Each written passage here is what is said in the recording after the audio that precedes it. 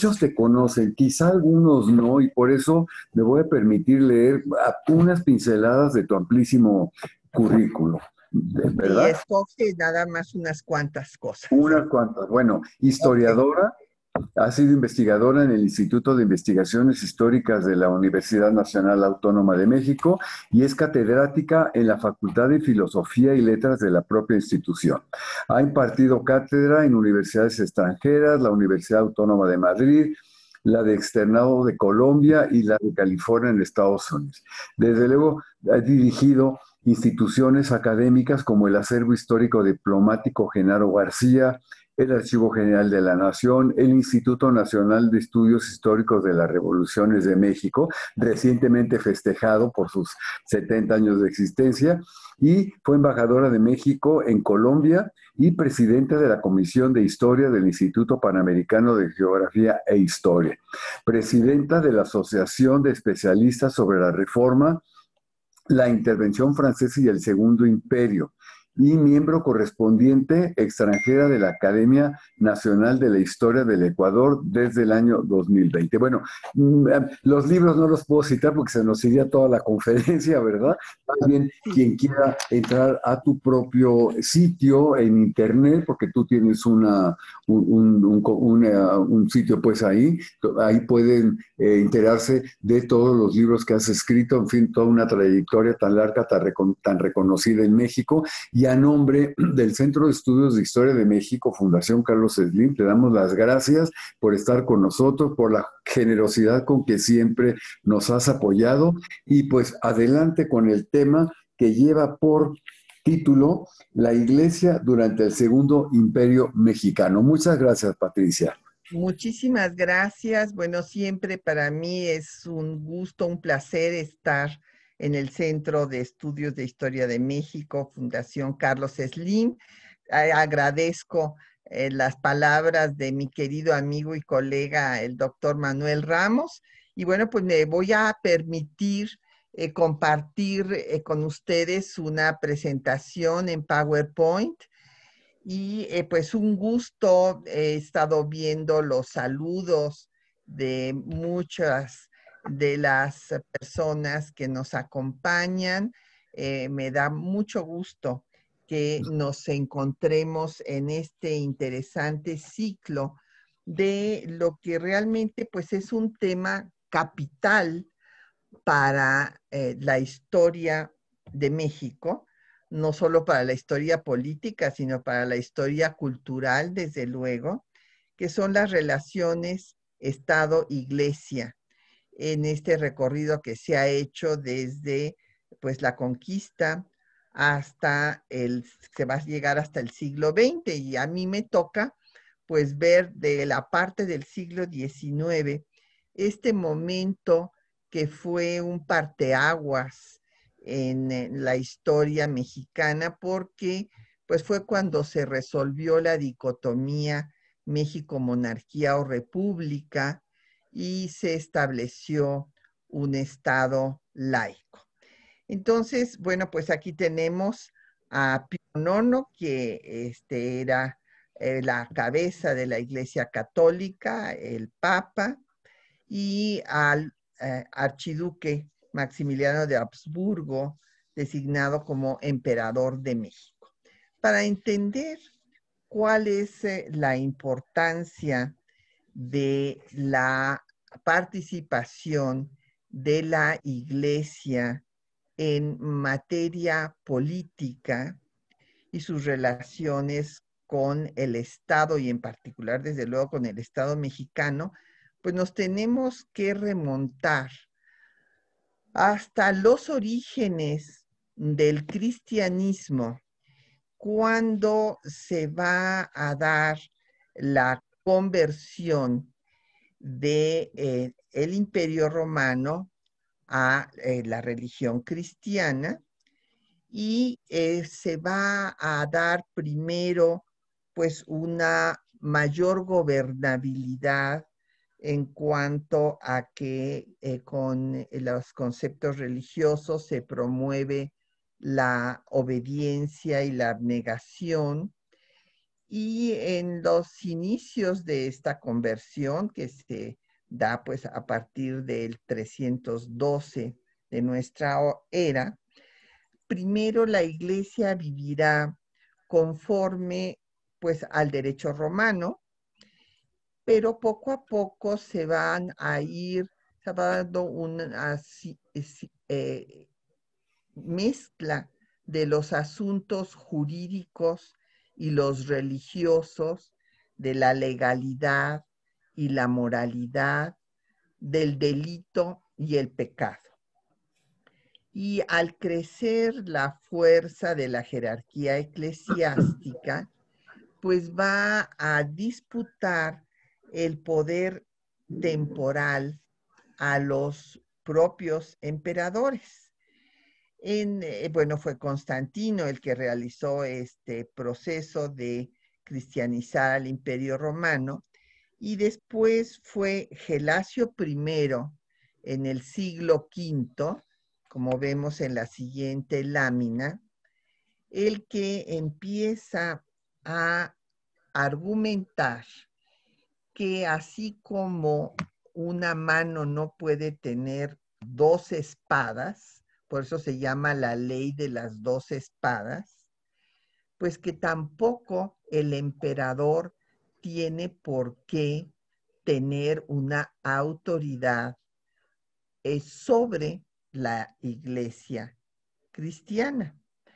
Y entonces, eh, pues se va a empezar a dar esta disputa entre el poder, perdón, espiritual y el poder temporal.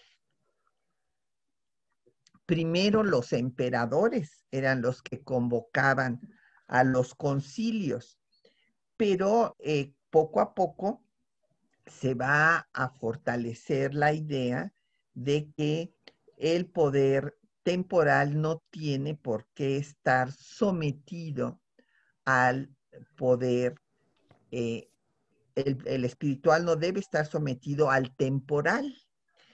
Y entonces eh, vendrá un largo periodo de la eh, que se llamó la querella de las investiduras, que vemos en la siguiente lámina. ¿Qué quiere decir esto? Pues es la disputa por el poder entre el emperador y el papa. Eh, pues esta larga querella de las investiduras se va a dar desde el siglo undécimo hasta el siglo decimosegundo, hasta que poco a poco el Papa vaya cobrando mayor fuerza y autoridad sobre los gobernantes. Este proceso va a culminar cuando el Papa Borgia Alejandro VI va a ser el que haga mediante las bulas alejandrinas la división del cuarto continente encontrado, bueno, por Colón cuando llega a las islas del Caribe, entre los españoles y los portugueses él traza una línea imaginaria dejando al este lo que correspondería a Portugal y al oeste lo que correspondería a España. De esta forma, la Casa de Braganza va a tener Brasil y los gobernantes de España el resto del continente.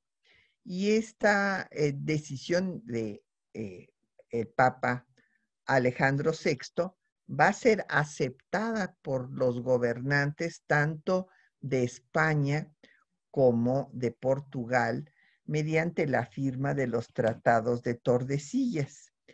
Entonces, a partir de ahí, la iglesia va a tomar eh, pues una fuerza moral y política por encima de los gobiernos católicos, porque ya en ese momento se ha dado la ruptura de eh, pues las iglesias cristianas y ya tenemos a la iglesia católica. Y eh, justo en la cohesión, la formación del Estado español, se va a dar una unión en torno a la religión católica. Hay que recordar que, bueno, pues 700 años estuvieron eh, los eh, cristianos luchando en contra de la dominación musulmana, inclusive eh, este, fueron eximidos de ir a recuperar los santos lugares en las cruzadas. Y entonces el Estado español se va a cohesionar en torno a la religión católica cuando finalmente triunfe la reconquista expulsando a los musulmanes y a los judíos. Y se establece el Tribunal de la Inquisición para que no haya ninguna idea contraria al dogma católico. Esto va a llevar a la cultura de la religión única, sin tolerancia de ninguna otra, que es la que se va a establecer con la conquista española en nuestro país.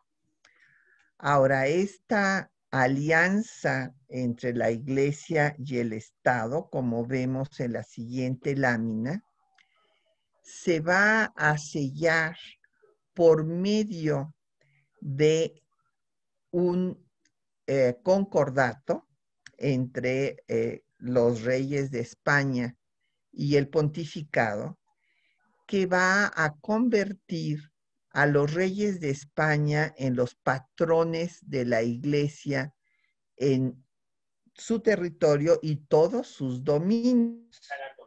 Y por lo tanto, el virrey de la Nueva España, la España de América, única posesión española que lleva el nombre de su metrópoli, por eso era la joya más preciada de la corona española, pues va a ser el vicepatrono de la Iglesia Católica en los territorios.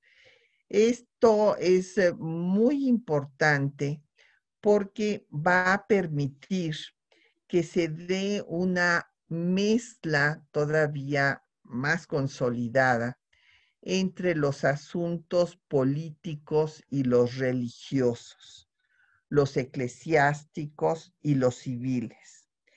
Y de esta forma se legitima la conquista de las tierras americanas y eh, pues el eh, control de todos sus habitantes, de los pueblos originarios, porque se les va a evangelizar o sea, se les va a imponer la religión única y verdadera.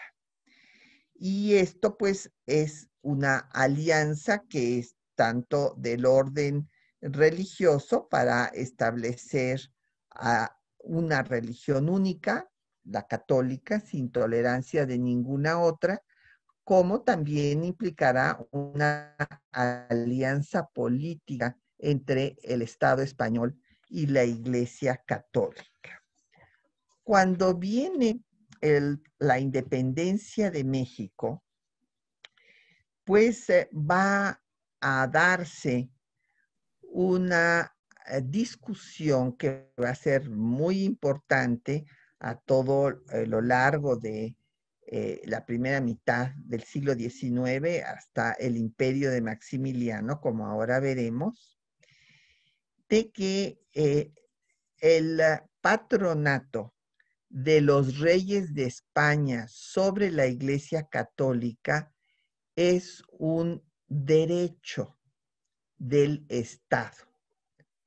Esta es la posición que van a mantener, pues no solamente los gobiernos de México después de la independencia, sino el propio Maximiliano de Habsburgo, y la iglesia señala que no es un derecho del Estado, sino es una concesión, una concesión que el Papa otorgó a los reyes eh, de España para realizar la conquista y la evangelización de eh, los habitantes de América, pero que no estuvo dispuesta a otorgar a los gobiernos mexicanos. Y ahí empieza pues el conflicto entre el Estado y la Iglesia, que es el tema de nuestro ciclo. Y eh, pues vamos a tener entonces que la Iglesia condenará a la insurgencia, como vemos en la siguiente lámina, porque como aliada de España, pues eh, no acepta esta insurgencia, esta insurrección en contra de eh, los reyes legítimos del imperio y va a usar pues el arma más poderosa que puede tener la iglesia, que es la excomunión.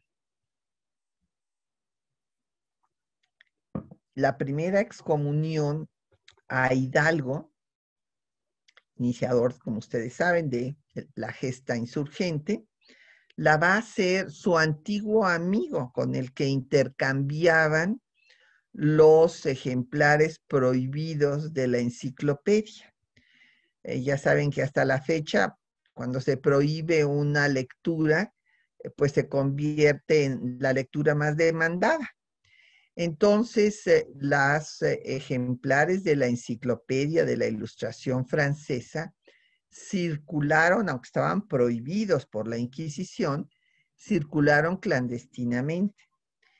Y eh, pues Abadi Keipo había tenido una ah, vinculación intelectual con Hidalgo, pero cuando Hidalgo decide tomar las armas y llamar a la independencia, pues Manuel Abadi Keipo es el primero en que lo excomulga. Y por ahí alguna colega ha dicho que bueno, pero que no, esta excomunión no tenía valor porque no estaba consagrado todavía Badi Keipo. Pero por si hubiera cualquier duda al respecto, pues la excomunión es ratificada por eh, el arzobispo Francisco Javier, Lizana y Beaumont y todos los obispos. O sea, no solo Hidalgo, sino todos los insurgentes. la insurgencia en sí estaba condenada porque pues la iglesia, la jerarquía eclesiástica que tenía que mantener esta alianza que tenía con la corona española.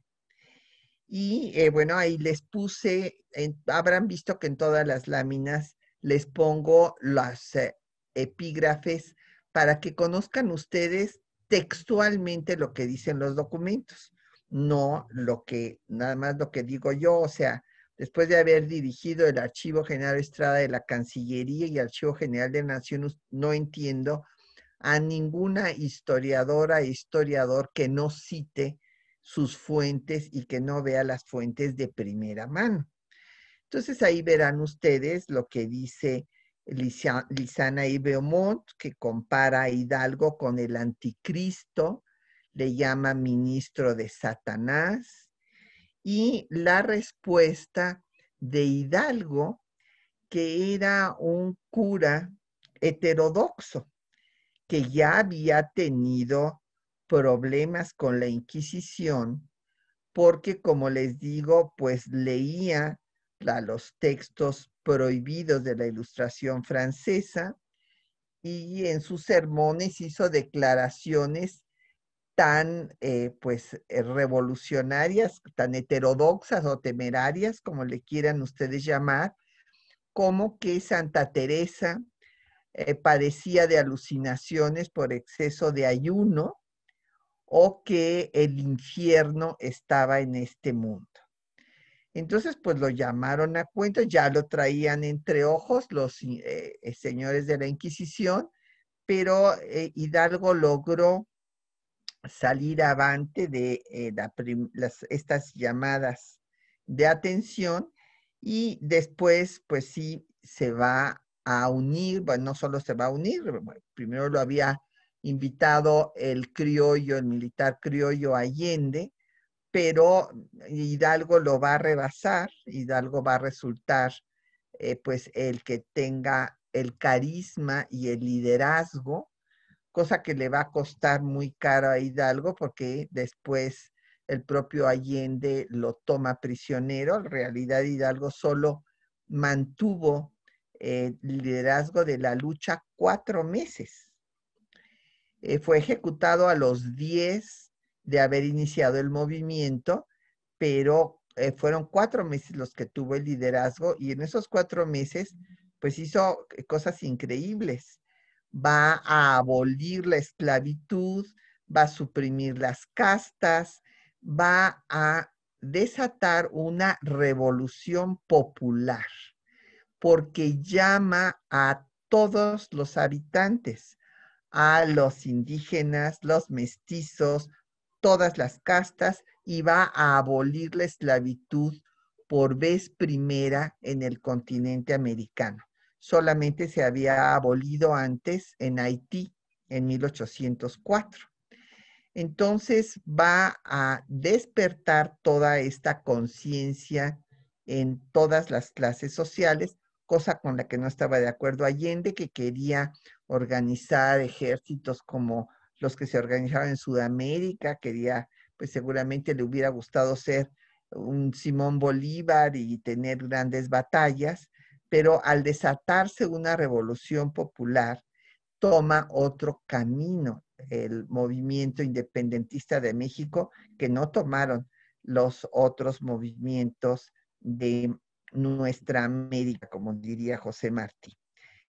Entonces, eh, pues Hidalgo eh, no puede hacer todo lo que se proponía, establece un gobierno, el primer gobierno insurgente en Guadalajara, saca a Fernando VII la efigie del eh, Palacio de la Audiencia, nombra dos secretarios, un embajador para que vaya a negociar un tratado de alianza con Estados Unidos, pero finalmente, pues eh, Allende lo toma prisionero, pensó en asesinarlo, pero pues se lo llevó al norte y ahí los agarran los realistas y los ejecutan a los dos. Y eh, pues el movimiento quedará en manos de Morelos, que lo llevará a su culminación con la primera constitución del país, pero después de cinco años también va a sucumbir, lo van a ejecutar y quedarán cinco años más de resistencia. O sea, la guerra insurgente duró 11 años y después habrá 15 años más en los que sufrirá la amenaza de reconquista de España, que no, no aceptó eh, la consumación de la independencia que negoció Iturbide con el insurgente guerrero y que después aceptó el representante del gobierno liberal español, Juan O'Donoghue. Pero veamos la participación de la iglesia en la consumación del el proceso independentista y bueno, pues justo estamos en el mes patrio en donde se recuerdan todos estos hechos que dieron pie al nacimiento de México.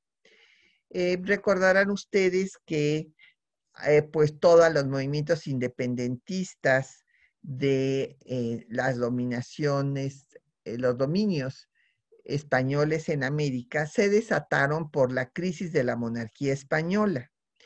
En cuando pues eh, los nobles españoles no estaban de acuerdo con Manuel Godoy, el ministro de Carlos IV, y entonces vino el motín de Aranjuez. Eh, Manuel Godoy llegó a pensar en traerse a Carlos IV a gobernar en la Nueva España, así como se habían ido las Braganza a Brasil, pero pues eh, el motín del Aranjuez lo, lo detiene. Eh, ahí le arrebata el trono a Carlos IV Fernando VII y entonces esto es muy importante decirlo porque a veces no se sabe. Y ahí están los documentos. Entonces Carlos IV le pide a Napoleón I que él resuelva el problema.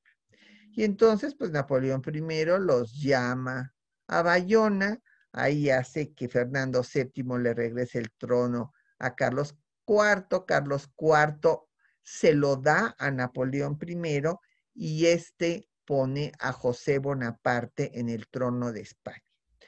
Los afrancesados pues aceptan este, a la carta, la primera constitución que tienen los españoles, que es la carta otorgada de Bayona, pero los otros se oponen al dominio francés e inician lo que ellos eh, llaman en su historia la guerra de independencia. Ahí Hidalgo les dice que por qué ellos no querían que los franceses los gobernaran y querían seguir gobernando a los americanos.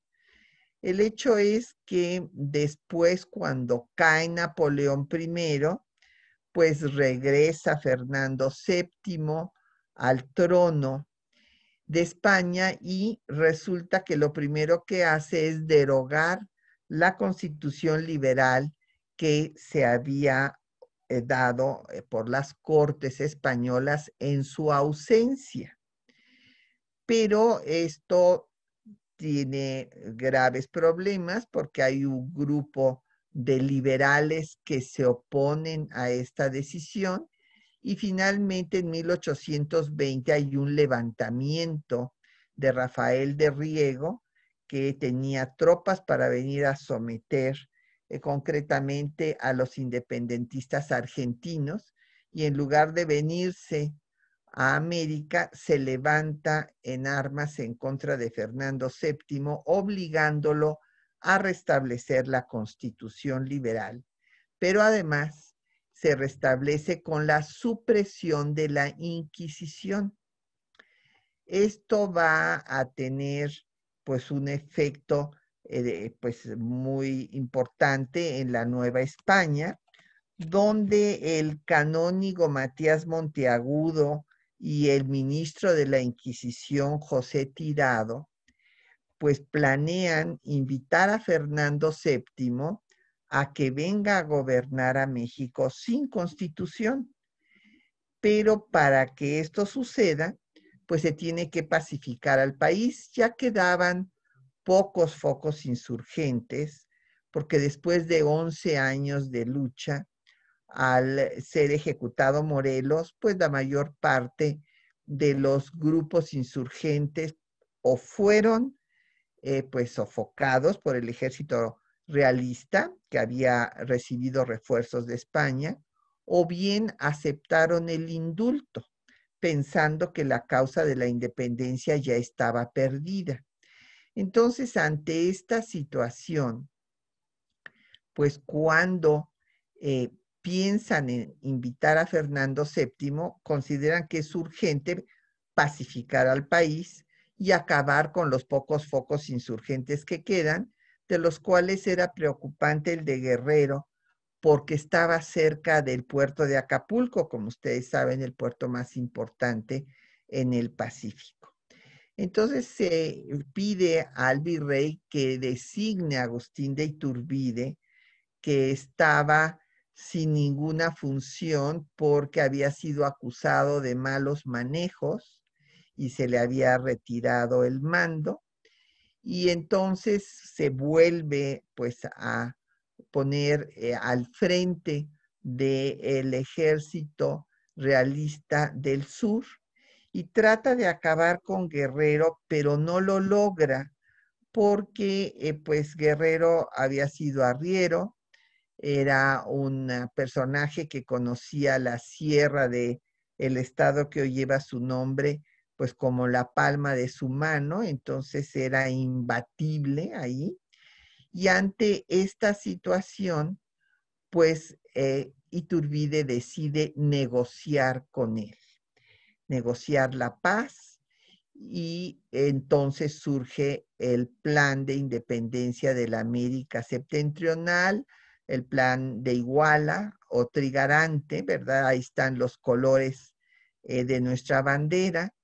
El verde eh, es la independencia, el blanco es la religión católica sin tolerancia de ninguna otra y el verde es la unión de los antiguos eh, realistas y los insurgentes.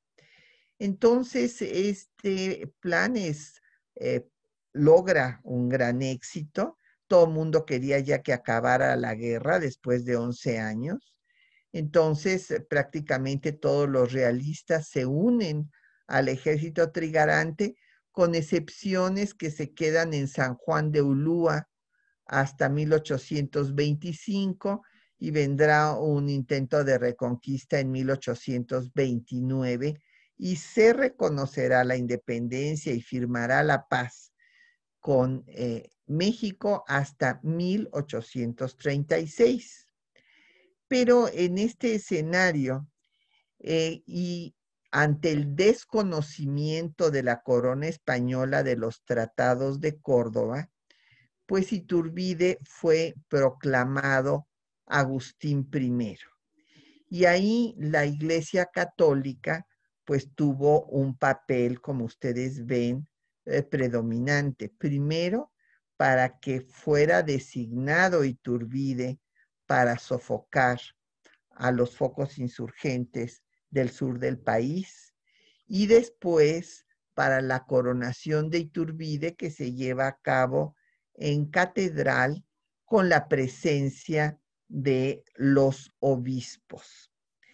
El primer imperio pues como recordarán ustedes, fue un fracaso, eh, eh, duró escasos 10 meses y él cayó porque pues los borbonistas estaban en contra de que no se hubiera hecho una invitación formal a Fernando VII o a cualquiera de los miembros de su casa dinástica y los antiguos insurgentes pues eran eh, republicanos y Iturbide los encarceló, luego disolvió el Congreso y entonces su propio ejército se levantó en su contra pidiéndole que restableciera al Congreso y ya lo restableció para renunciar. ¿Y qué pasa después eh, con la posición de la Iglesia frente a México? pues eh, la alianza de la Santa Sede con España va a hacer que tres papas sigan condenando la independencia y llamando a los mexicanos a la lealtad que deben a Fernando VII. Pío VII, León XII y Pío VIII y eh, pues eh, incluso se emite eh, por Pío VII una encíclica que condena todos los movimientos rebeldes en América. Y después hay otra encíclica también de, que se refiere, que se manda a todos los arzobispos y obispos para que se acabe con el movimiento sedicioso y finalmente se condenó a los gobiernos independientes de América y se siguió llamando a que volvieran a la lealtad que debían a Fernando VII. Esto va a cambiar eh, con Gregorio XVI. Antes hubo muchísimos problemas porque los papas que no reconocían la independencia, pues resulta que no, querían nombrar obispos impartibus, los obispos impartibus eran los obispos que se mandaban a tierras infieles. Entonces los propios clérigos mexicanos protestaron porque pues México no era una tierra de infieles.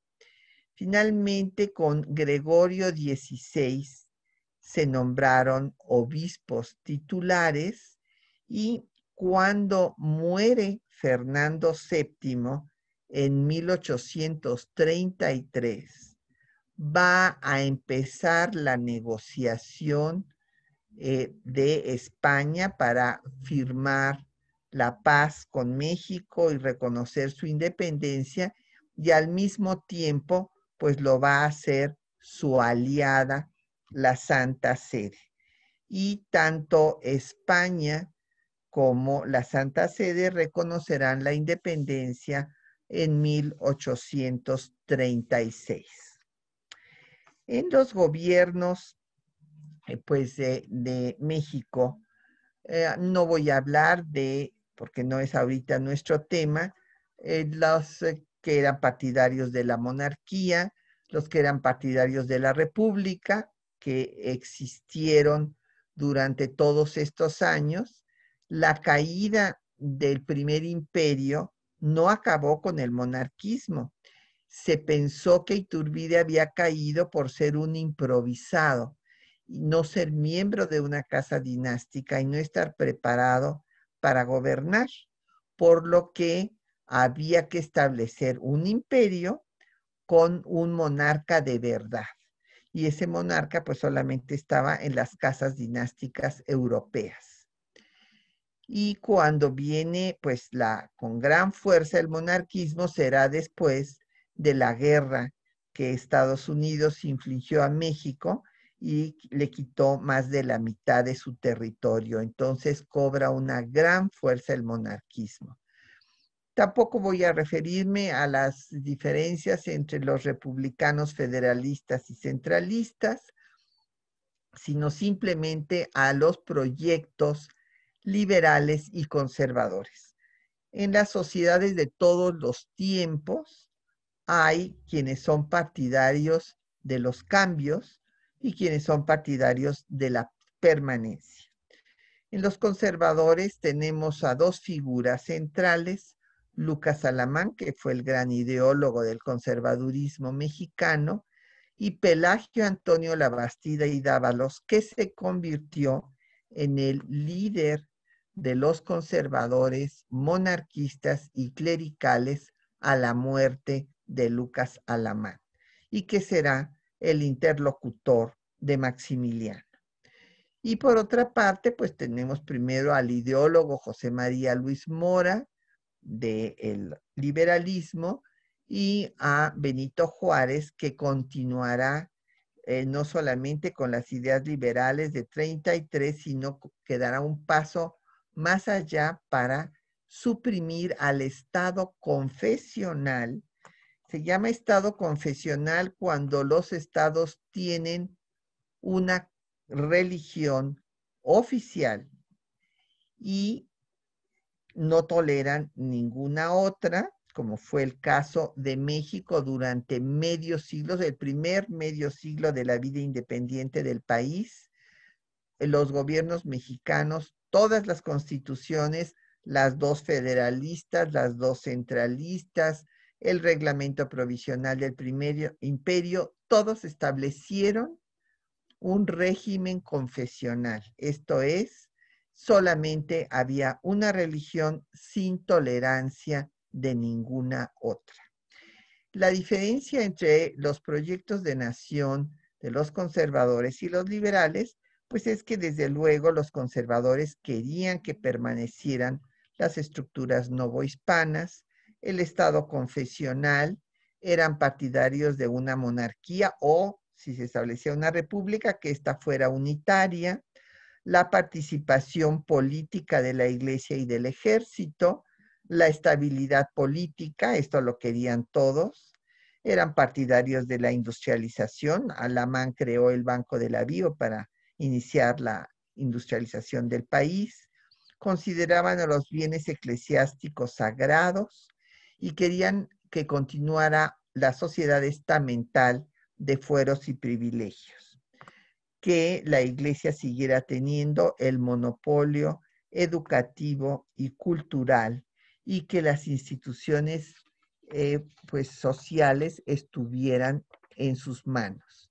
Los liberales querían un cambio de estructuras, suprimir los atavismos coloniales, eh, afirmar la soberanía del Estado, una república federal, estabilidad política, un Estado laico, la supresión del Estado estamental, que la Iglesia y el ejército se sometieran a la autoridad civil, que circularan los bienes de manos muertas, esto es en manos de la Iglesia, eran partidarios obviamente del liberalismo económico, que circulara la riqueza, que hubiera pequeños propietarios, igualdad ante la ley, la creación de una clase media, instituciones sociales a cargo del Estado y libertad de cultos y de enseñanza, establecimiento de la enseñanza laica y la integración de las comunidades indígenas. Vinieron primero una primera reforma que intentó en la siguiente lámina, la intentó Gómez Farías eh, y contó con el apoyo de José María Luis Mora. Y desde luego, y esto fíjense que es muy importante porque es una mezcla con lo que quiso hacer Maximiliano. Maximiliano va a unir la idea de monarquía y de reforma liberal, porque resultó que Maximiliano era liberal, y eh, tomó algunas, eh, reiteró algunas cosas que habían hecho los liberales de la primera reforma, como era el ejercicio del patronato como un derecho del Estado soberano, y también otros temas que retomó de la segunda reforma juarista. Eh, los reformistas de 33 consideraban que los clérigos podrían seguir llevando el registro de la ciudadanía, pero en tanto que funcionarios públicos. Esto también lo va a establecer Maximiliano. Eh, querían la secularización de manos muertas, misma que ratificará Maximiliano, y la supresión de la coacción civil para el cumplimiento de votos religiosos clausuraron la eh, Universidad Pontificia, crearon eh, pues seis escuelas de estudios superiores, pero surgió pues eh, la rebelión, ahí se unieron el clero y el ejército, y al grito de religión y fueros, pues se pidió que viniera Santana al gobierno, y este puso al obispo Juan Cayetano Gómez Portugal como ministro de Justicia y él derogó toda la reforma liberal. Después se dieron leyes reformistas cuando triunfa la revolución de Ayutla en contra de Santana. Se acaba la era santanista y empiezan a hacer reformas moderadas, como la ley Juárez, que suprime la posibilidad de que los tribunales eclesiásticos y militares ventilen delitos del orden común, como la ley Lerdo, que hace que circulen los bienes de las corporaciones eclesiásticas y civiles, exceptuando lo que se necesita para el culto y los terrenos ejidales. Sin embargo, también hay una gran oposición y otra vez el grito religión y fueros hace que se levante un movimiento armado que va a presidir el conservador Antonio Aro y Tamariz, financiado por el obispo de Puebla, que en ese momento es Pelagio Antonio Labastida y Dávalos. con su brazo derecho, que era Francisco Miranda. Fue tan ostensible el financiamiento de este levantamiento armado que el moderado de Comonfort, que estaba entonces en el gobierno, pues intervino por vez primera los bienes del clero, en este caso del obispado de Puebla.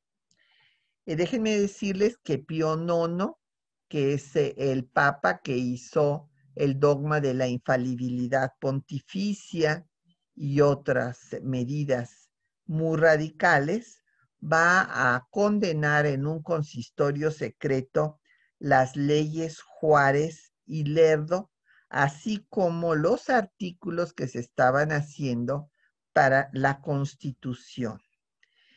Eh, Juárez sostiene una polémica con Clemente de Jesús Munguía, obispo de Michoacán, y le hace ver que en ninguna manera, de ninguna manera se están tocando dogmas de fe, puntos de la religión, y que lo único que quiere la ley Lerdo, eh, perdón, la ley Juárez, es la igualdad de los derechos que estaba desnivelada por los soberanos.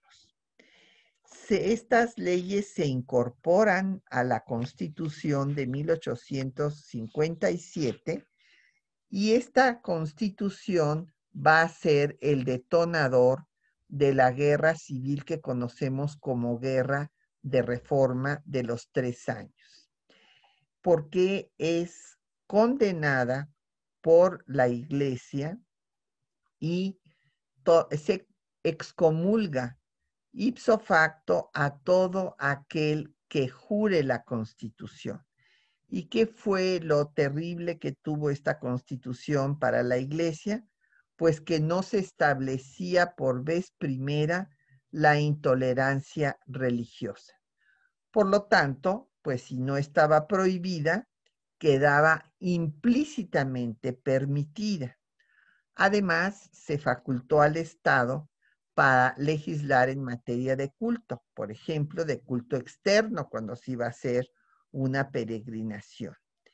Esto llevó a la guerra más sangrienta que vivió el país después de la independencia y pues lanzaron toda la jerarquía eclesiástica un manifiesto en contra de la constitución. Aquí les puse un párrafo eh, señalando que esta constitución es contraria a la doctrina de la iglesia y por lo tanto pues la condenan y excomulgan a quien la jure. En medio de la propia eh, guerra civil se dan las leyes de reforma que van a ser desde luego más radicales que las leyes reformistas que se habían dado antes de la Constitución. Como vemos en la siguiente lámina, fueron cuatro leyes y cuatro decretos, después ya hasta 61 se da la ley de instrucción, pero se nacionaliza los bienes de la iglesia, ya no se van a poner en subasta pública como se iban a poner en, en las leyes de secularización, sino que van a pasar a ser propiedad de la nación y en el manifiesto justificativo se establece que la Iglesia ha maquinado en favor de sus privilegios y que con sus recursos ha apoyado la lucha armada y que por esa razón se están nacionalizando los bienes de la Iglesia. Se establece la ley de matrimonio civil y registro civil, en donde se separa el Estado y la Iglesia. O sea, esa mezcla que se había dado desde el origen del Estado español se rompe aquí. Y se establecerá ya en 61 la educación laica y la máxima de todas las libertades, que es la libertad de cultos, se da al triunfo de la guerra civil por los liberales en diciembre de 1860. También se dan cuatro decretos, secularización de los cementerios. Déjenme decirles que a Gómez Farías no dejaron que lo sepultaran en un cementerio porque había hecho la reforma de 33. Entonces lo sepultaron en su casa, ahí en Miscuac, en donde ahora está el Instituto José María Luis Mora. Y también se estableció, pues por eso se, secularizaron los cementerios, también se estableció el decreto de días festivos, ya las autoridades eh, civiles no podían participar en las ceremonias religiosas como eh, pues autoridades. En lo particular, cada quien podía hacer eh, pues su vida religiosa, pero no oficialmente. Se secularizaron los hospitales y también las comunidades religiosas, sobre todo cuando viene la intervención francesa que se convierten en hospitales eh, para pues todos los heridos frente a la eh, lucha en contra de los franceses. El pacto de la intervención se dio en plena guerra civil de reforma. Aquí hay que pues indicar la importancia que tuvo pues la iglesia en la guerra civil puesto que condenó a la Constitución, financió la lucha armada y después en la intervención francesa, que va a ser negociada en 1859, según consta en los documentos correspondientes. Desde entonces, Santos Degollado, general liberal, interceptó el correo de José María Gutiérrez de Estrada, el líder del monarquismo en ese momento, porque ya había muerto Lucas Alamán. Además, Gutiérrez de Estrada desde 1840 había dicho que la monarquía era la salvación para México y él eh, pues vio a Napoleón, le pidió su intervención para establecer el segundo imperio.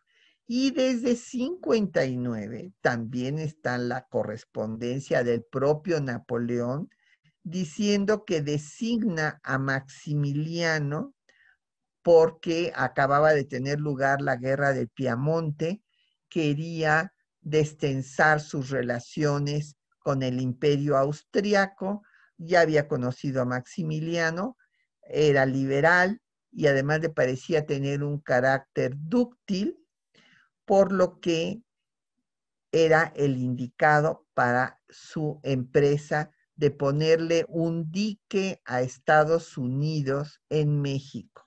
Esta es una vieja idea de Maurice de Talleyrand, este canciller francés que lo mismo estuvo con Napoleón I que con eh, la monarquía, que había dicho que había que detener a Estados Unidos porque si nos iba a amenazar a la hegemonía francesa. Y pues el lugar para ponerle un retén a Estados Unidos era obviamente México. Desde eh, septiembre de 59 tenemos la carta donde eh, el señor Andrés Oseguera, amigo de Melchor Ocampo, confirma que será un Habsburgo y no un Borbón el que venga a gobernar a México. Y la iglesia presenta a la intervención francesa como la salvadora de la religión católica que supuestamente estaba combatiendo Juárez, que también era católico. Lo que pasa es que no era clerical, o sea, no estaba de acuerdo con la participación política de la iglesia. Y eh, pues esto va a ser fundamental. La iglesia recibirá con repiques de campana cada triunfo del ejército francés. Y como pueden ustedes ver, aquí está la eh, imagen de la recepción y el TDU en honor de Federico Forey, el comandante del ejército francés en la Catedral de Puebla, después de la toma de Puebla. ¿Se acuerdan que la célebre batalla del 5 de mayo, donde Zaragoza detiene a los franceses, los detiene un año, pero al año siguiente, pues regresan con mucho más tropa y logran avanzar y tomar Puebla. Eh, hay que señalar que Pelagio Antonio Labastida y Dávalos fue personalmente a Miramar a entrevistarse con Maximiliano para decirle lo que esperaban de él. Y en la comisión de ofrecimiento al trono, que vemos la siguiente lámina, va a estar el brazo derecho de la Bastida, que fue el padre Francisco Javier Miranda.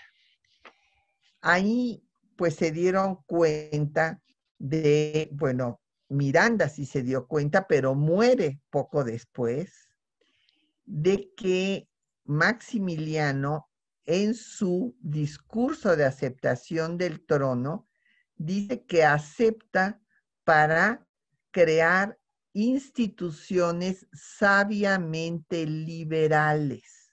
Esto es textual. Y lo que pasa es que en la desesperación que tuvieron los monarquistas eh, mexicanos apoyados por la iglesia, cuando no pudieron hacer que se estableciera un imperio con un miembro de la casa dinástica española, pues se pusieron en manos de Napoleón III pero se les olvidó que Napoleón III, si bien era el árbitro de la política europea de su tiempo, porque había llevado además a los ejércitos de Francia hasta Indochina, se fortaleció en Argelia y quería que la página más gloriosa de su reinado era ponerle un retén a Estados Unidos en México, pero repito, se les olvidó que eran era liberal, era un orgulloso descendiente de los revolucionarios franceses. En pocas palabras, pusieron a la iglesia en manos de Lutero. Y cuando pues fue eh, la Bastida a ver a Maximiliano, pues Maximiliano no le dijo ni que sí ni que no, Maximiliano estaba muy influenciado con las ideas de Leopoldo von Stein, que muy sabiamente recomendaba a los gobernantes estar por encima de todos los partidos del pueblo que gobernara. Entonces, pues ya tenía el apoyo de la iglesia, ya tenía el apoyo de los conservadores. Lo que quiso hacer desde que tomó posesión fue conquistar a los liberales. Y que no lo va a poder hacer porque serán republicanos, pero bueno, eh, en, el ofrecimiento al trono, pues como les decía yo, estuvo Francisco Javier Miranda de la lámina anterior y cuando se firmó eh, los tratados de Miramar, hay un artículo secreto en donde resulta que Maximiliano se compromete a seguir una política liberal. Ahí está, los artículos secretos del Tratado de Miramar. En la iglesia estaba eh, pues alarmadísima por las declaraciones de Forey, que después de que lo habían recibido bajo palio en la Catedral de Puebla, cuando vino a México, y les voy a pasar la lámina anterior otra vez, por favor, la del pacto de intervención, para hacerles ver las palabras textuales de Forey. Cuando entra a la Ciudad de México, dice que Napoleón III, refiriéndose al emperador, vería gustoso que se pudiera proclamar la libertad de cultos, gran principio de las sociedades modernas. Cierro comillas, textual. Entonces, con ese antecedente de Forey, con lo dicho por Maximiliano en la siguiente lámina, al recibir el eh, ofrecimiento del trono de establecer instituciones sabiamente liberales, con eh, el artículo secreto en los tratados de Miramar, pues evidentemente iba a tener eh, pues un gran desencanto la Iglesia Católica porque no estaba haciendo lo que ellos esperaban. Para tranquilizar a la Iglesia y no tener un arribo a México pues con una oposición de los que le habían ofrecido el trono, decide ir a visitar a Pío IX. En la siguiente lámina vemos que eh, pues resulta que Napoleón le dice que no vaya.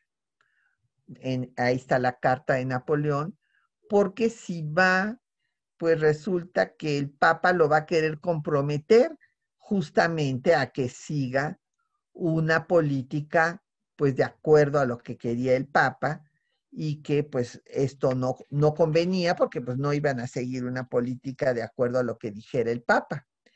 Sin embargo, Maximiliano es de los pocos actos independientes que hace, decide ir y desde luego el Papa en el sermón le dice, le recuerda, que como príncipe católico eh, tiene que obedecer a la Santa Madre Iglesia.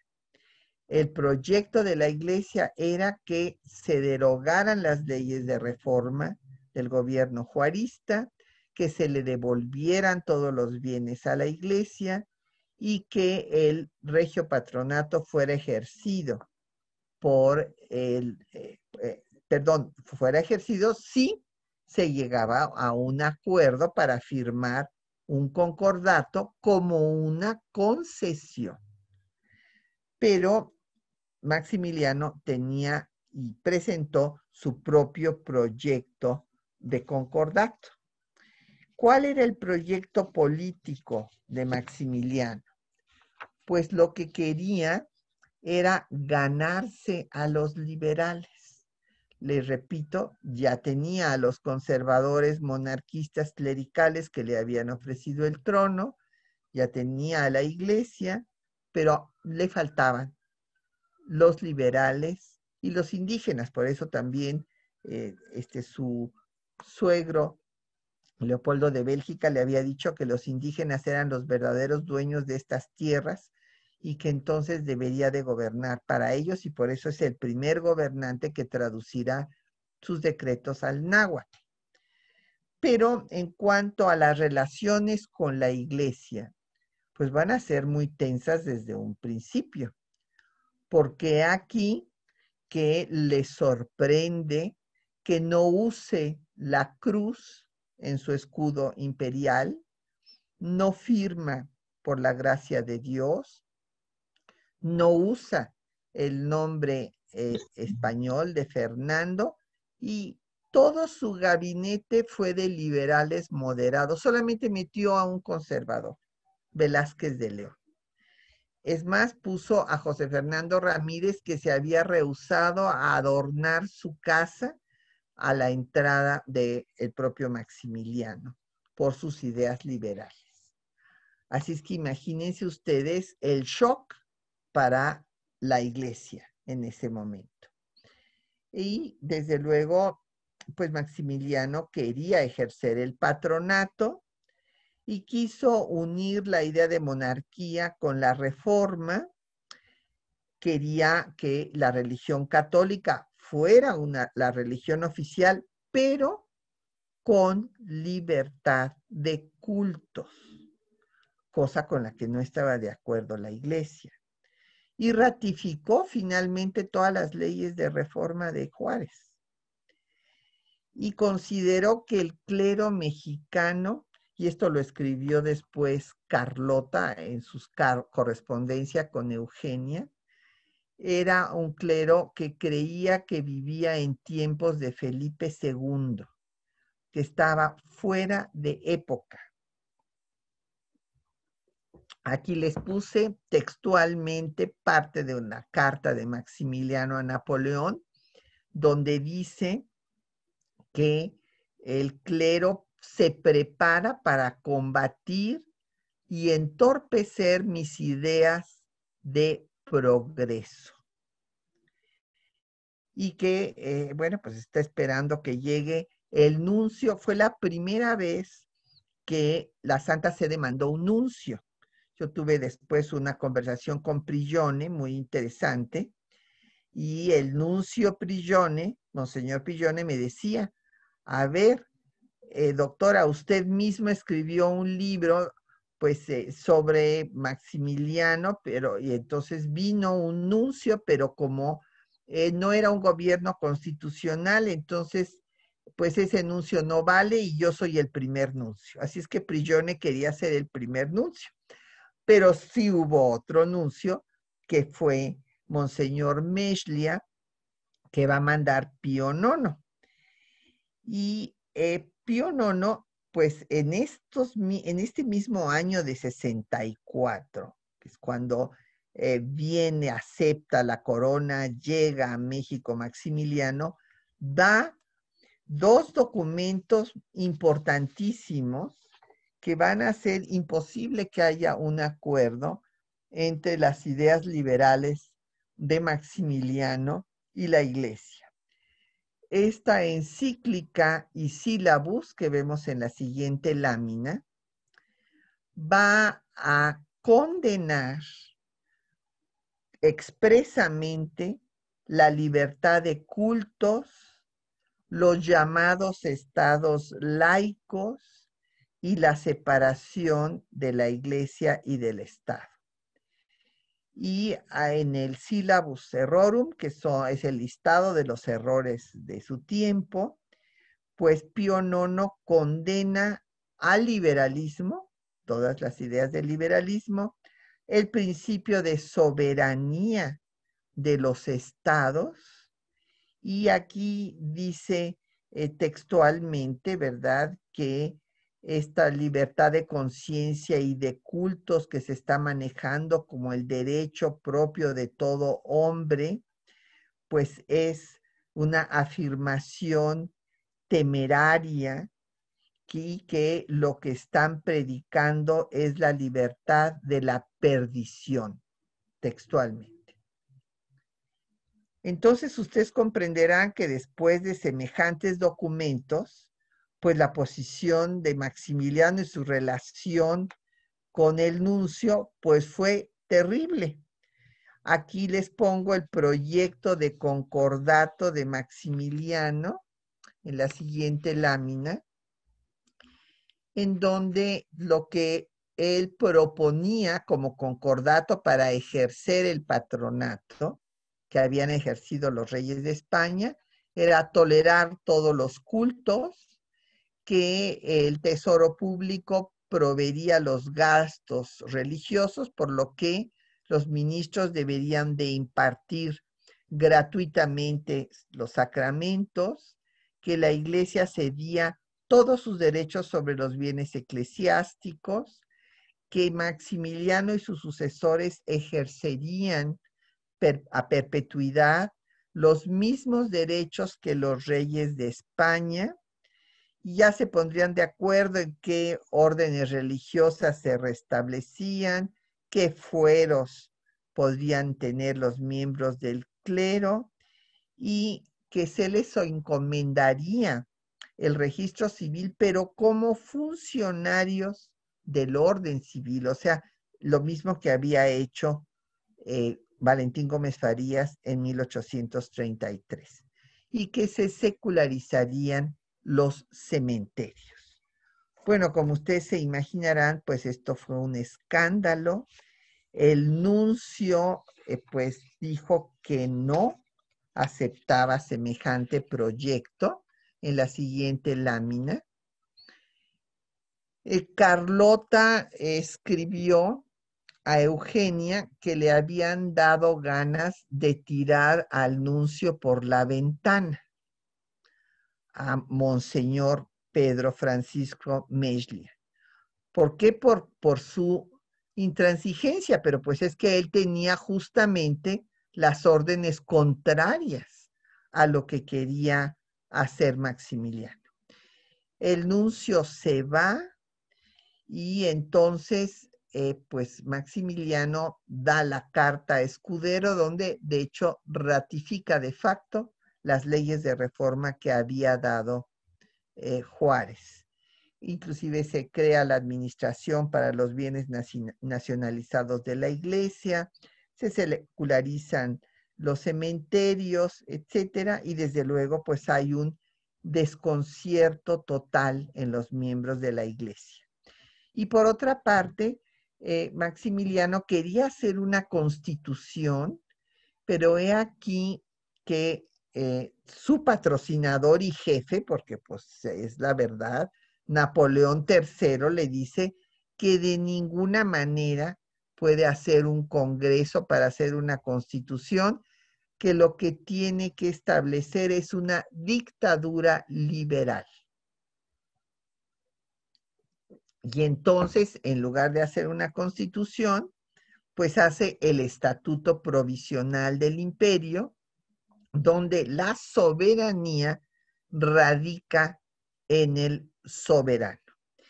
Y eh, pues eh, en este documento y también dice que hay testimonios de que los dignatarios de la iglesia han lanzado las revoluciones y desplegado, aquí está textualmente, resistencia obstinada y activa contra los poderes legítimos del Estado. Entonces, bueno, pues viene eh, la debacle porque pues resulta que a pesar de que Francia manda más y más miembros del ejército, pues no se acaba con la resistencia republicana y entonces le piden a Maximiliano que dé la ley, le pide Basen, entonces era el jefe del ejército francés. En la siguiente lámina eh, vemos, bueno, sí, ya estamos, ya no, no movemos las. En esta lámina vemos que da la famosa ley del 3 de octubre de 1865, decretando la pena de muerte para todos los republicanos. ¿Con qué argumento? Pues resulta que Juárez se encontraba en el paso que lleva ahora el nombre de Ciudad Juárez. Y entonces se argumentó que Juárez había abandonado al territorio nacional, que por lo tanto la causa de la República ya no existía. Así es que había que dejar las armas y a todos los que no la dejan, pues serían ejecutados. Y fueron ejecutados muchos generales republicanos pero como no se acabó con la resistencia republicana, pues resulta que en 66 ya, eh, de hecho, desde eh, principios de 66, había anunciado Napoleón que iba a retirar a su ejército. ¿Por qué? Porque se le complicó todo el momento que él había estado esperando para establecer el imperio en México, pues se le complicó porque no pudo acabar con la resistencia republicana. Ya había gastado mucho dinero, ya tenía una oposición terrible en el Congreso de Francia, que se oponían a la aventura imperial napoleónica, imperialista de Napoleón III, y por otra parte, Prusia estaba tomando mucha fuerza y además ya había terminado la guerra de secesión en Estados Unidos. Que Estados Unidos, mientras estuvo en su guerra de secesión, le vendía armas a los franceses y no le vendía a los mexicanos, como consta en toda la documentación de Matías Romero que era el representante del gobierno de Juárez en Estados Unidos, quejándose de que Estados Unidos violaba la neutralidad que había declarado cuando llegaron las tropas y avanzaron las tropas francesas. pero ya libres de su guerra de secesión, pues ya no le tenían miedo a Napoleón de que fuera a intervenir en sus asuntos internos, entonces ya tampoco estaban de acuerdo con que aquí se estableciera un imperio aliado de Europa. Entonces, ante todo este panorama, pues Napoleón decidió retirar a su ejército. Y ante esto, Maximiliano se quería ir, y así se lo dijo a su secretario particular, está la correspondencia. Es más, por esa razón, los archivos de Maximiliano están en Viena, porque los mandó y mandó otras cosas que por lo que se ve las robaron en el camino porque aparecieron por Centroamérica, una de, su vajilla con sus iniciales, y entonces un arquitecto nicaragüense eh, inventó, o salvadoreño, en este momento ya me confundí si es de Nicaragua o es de El Salvador, inventó que Maximiliano no había sido ejecutado y que había muerto allá en el país centroamericano. Hizo una novela eh, con el nombre de Justo Armas ya este, a los 80 o 90 años. Esto porque se encontraron unos platos de, con las iniciales de Maximiliano. Porque en efecto, Maximiliano se, se quería regresar a Miramar a escribir sus memorias. Así se lo había dicho a su secretario particular. Pero pues las cosas se le complicaron porque su hermano Francisco José no quería que regresara para nada, porque él tenía simpatía entre los húngaros, precisamente por su liberalismo. Y bueno, pues la enfermedad de Carlota, que no lo dejó que renunciara y se dijo que ella iba a convencer a Napoleón de que se dejaran las tropas más tiempo y desde luego no lo convenció porque era una decisión tomada y entonces es cuando vienen sus problemas de delirio de persecución. Y es la carta que les digo, la última que le escribe diciendo que pues su proyecto eh, era magnífico, pero que no era mexicano. Entonces, eh, no creo que no se los había dicho a ustedes, se lo había comentado a Manuel antes de que empezáramos esta carta de Carlota. El hecho es que ante esta situación, Maximiliano deja en su gabinete que decidan si se va o no se va. Y desde luego, pues la mayoría vota porque no se vaya, porque pues, se quedaban eh, pues sin, bandera, sin, sin su líder en ese momento. Entonces, pues decide quedarse y entonces claudica de su política liberal y nombra al padre Agustín Fischer de muy eh, discutible conducta, dicho entre paréntesis, eh, para que era una especie de, de, fue el Rasputín aquí de Maximiliano. Entonces le cambió todo el gabinete, sacó a todos los liberales y puso a conservadores, eh, les ofreció cargos a los oficiales franceses para que no se fueran, se revocaron todas las leyes anticlericales y se pensó hacer un sínodo para que el sínodo hiciera el proyecto de concordato, pero pues cayó el imperio. Sin el apoyo, a la siguiente, el apoyo del ejército francés, pues eh, ya no se pudo mantener, ¿verdad? Aquí está una de las cartas de, Napoleón que le dice a Maximiliano, ni un escudo ni un hombre más. En 66, en agosto, y bueno, pues los últimos salieron en marzo de 67 y en mayo pues cae el imperio eh, y eh, será ejecutado Maximiliano Miramón y Mejía en el Cerro de las Campanas en junio, el 19 de junio de 1867. Reflexiones finales. Pues eh, la caída del Segundo Imperio debilitó políticamente a la Iglesia.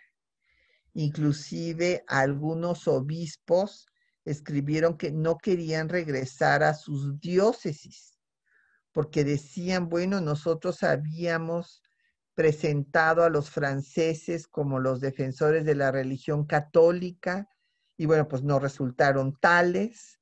Y entonces ahora, ¿qué les vamos a decir a la feligresía? Y bueno, pues evidentemente en este momento pues fue un eh, golpe letal para la fuerza política de la iglesia, triunfó la república, se suprimió el Estado confesional y se estableció el Estado laico. Y la política liberal de Maximiliano vino a darle la razón a los liberales juaristas que finalmente van a consolidar su proyecto de nación. Muchas gracias por su atención. Espero no haberme excedido en el tiempo. No, para nada, para pues nada. Al contrario, has dado una, una visión muy amplia desde los orígenes hasta la muerte de, de, Maximiliano y con datos muy, muy novedosos. Hay algunas preguntas, todavía podemos tener algunas preguntas, como por ejemplo, dice Fernando González, si bien es cierto que en la corona, ahí donde imperial no tenía una cruz, ¿por qué se, decidió poner una piña? Bueno, esta, eh, esto de la piña, pues es un elemento, como decía nuestro maestro Edmundo Gorman, pues de la invención de América. Desde las primeras pinturas que se hacen sobre América, la piña está ahí como un elemento, ¿verdad?, de, pues de, la, de la tierra americana. Sí. Y luego Genaro Ocio dice, magnánima conferencia, ponencia cambia la percepción de Maximiliano hacia un liberal un tanto desconocido. Y termina con la leyenda de Justo Armas. Felicidades, doctora Galeana. Y entre paréntesis puso, no dudo sea de la misma rama genealógico de Galeana. pues sí, ¿verdad? Pues sí, de, no de Hermenegildo, que no tuvo descendencia, sino de Pablo. Todavía mi abuelo, en honor de Hermenegildo, se llamó Hermenegildo Galeana. Ya, este, pues muchas felicitaciones por ahí. Dice por ahí, doctora, una pregunta, tengo una duda. ¿Por qué los conservadores no se dieron cuenta que Maximiliano en su discurso de aceptación del trono de México daba a conocer el establecimiento de un gobierno liberal en nuestro país? Felicidades por su conferencia. Sí se dieron cuenta y de esto hay, hay un libro que después lo incorpora a Rangois, pero yo tengo el original que se publicó en el siglo XIX eh, de eh, Arrangois, Francisco de Paula Arrangois, mm. que eh, son apuntes para la historia del imperio mexicano. Este, esa obra no se volvió a editar desde el siglo XIX, sino que después se unió con una obra de mayor alcance, no nada más del periodo del imperio. Pero Arrangois dice que Miranda, Francisco Javier Miranda, que era el brazo derecho de la Bastida, sí se dio cuenta, pero que como murió, eh, eh, ya no tuvo tiempo de, difundir a, pues, a los otros miembros de la iglesia pues su decepción, pero además, pues, ¿qué iban a hacer? No podían hacer nada ya en ese momento. Aun cuando y bueno, pues sí, eh, había habido muchas sorpresas. O sea, primero que nada, el balde de agua fría de que Forey les dijera que se debería de establecer la libertad de cultos cuando justo habían estado en contra de que se estableciera la libertad de cultos. Luego este discurso de Maximiliano y todos esos hechos que les digo que no usa la cruz, e, en fin, todo, que no firma por gracia de Dios, todo eso pues les llamó la atención, pero no tenía, ya no había posibilidad de, hacer nada en ese momento. Claro. Este, Lucía Esquivel, bueno, felicitaciones por la conferencia. Una pregunta, doctora. Dice, respecto de la beneficencia pública ya secularizada durante el Segundo Imperio, ¿se echó mano de la Iglesia Católica para su administración? Sí, él, él quería una mezcla, es lo que comentaba yo, que en algunas cosas quería que la iglesia siguiera apoyando, pero bajo la autoridad del imperio, bajo la autoridad del Estado. Y, y creó, eh, que es una parte muy interesante, una comisión para estudio de las clases menesterosas, eh, que justamente a quienes estudiaban pues era a las comunidades indígenas, que eran las que estaban sumidas en la miseria. Y entonces de ahí hizo una serie de reformas, legisló muchísimo, o sea, si ven ustedes es impresionante, se la pasó haciendo leyes. Eh, suspendió el peonaje, por ejemplo, que los peones acasillados no se quedaran pues como siervos de la gleba cuando había deudas, sino que esas deudas no pudieran ser heredadas por sus hijos y que sus hijos no siguieran ahí pues amarrados a la hacienda en donde había la deuda.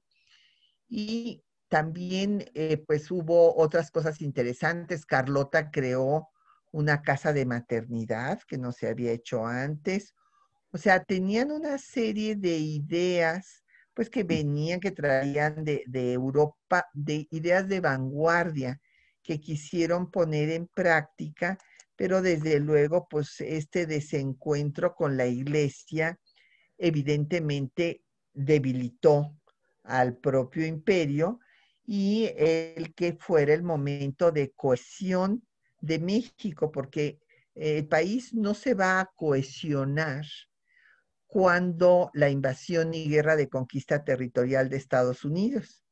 Hay muchos estados que no colaboran ni con un peso ni con un nombre para defender al país de esa invasión, porque veían muy lejanos los territorios que estaban allá en el norte. Pero de esta ocupación pasa como en todas las ocupaciones de los ejércitos extranjeros que violan todos los derechos violables. Hay que leer las memorias de Eric Eggers, pagador del ejército francés, que fue después un gran científico danés, y estas memorias las tradujo del danés el embajador Walter Astier Burgos, y ahí refiere los horrores que hacían los franceses en las poblaciones.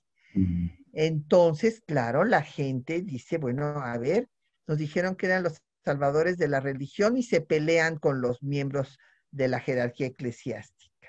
Y luego abusan de todos, eh, matan a, a, los que apoyan a los republicanos, etcétera. Entonces empiezan a rechazar al extranjero y a cohesionarse, a cohesionarse en torno pues, al gobierno republicano que era mexicano. Y por eso lo siguieron apoyando y la resistencia republicana continuaba y continuaba. O sea, eh, México fue para Napoleón III lo que Waterloo para su tío, o lo que Vietnam para Estados Unidos, que después de todo el tiempo que estuvieron, se tuvieron que ir como vinieron y no lograron su objetivo. Entonces, esto es importante porque ya no podían, como dijo Carlota, aceptar a un gobernante extranjero en esas condiciones después de cinco años de ocupación. Sí. Oye, René dice, bueno, te felicita, dice, ¿tiene usted redes sociales? Sería interesante seguirla. ¿Cómo no? sí estoy, bueno, en Twitter, que ahora se llama X, pero a mí me gusta más ah, decirle Twitter. Ahí este, saco las efemérides todos los días, entonces ahí me pueden seguir. Muy bien. Bueno, pues eh, te queremos dar las gracias, este, Patricia, por esta amplísima eh, visión que tienes. Todos los comentarios son muy favorables. Quedan por ahí algunas preguntas todavía. Y por ahí alguien comentó que regrese pronto la doctora a darnos una conferencia. Pues claro que sí, siempre le invitamos con, mucho gusto. Y bueno, pues tuviste unos más de cientos, casi 170 seguidores, lo cual obviamente habla pues de tu forma de exponer tan didáctica y, demás, ¿no? Eh, respecto a los que preguntaron sobre el libro, sí, ya ahí aparecen también en el chat la, la liga directa del libro de la fascinación del imperio, ¿verdad? Y eh, ya está subido desde luego, así que bueno.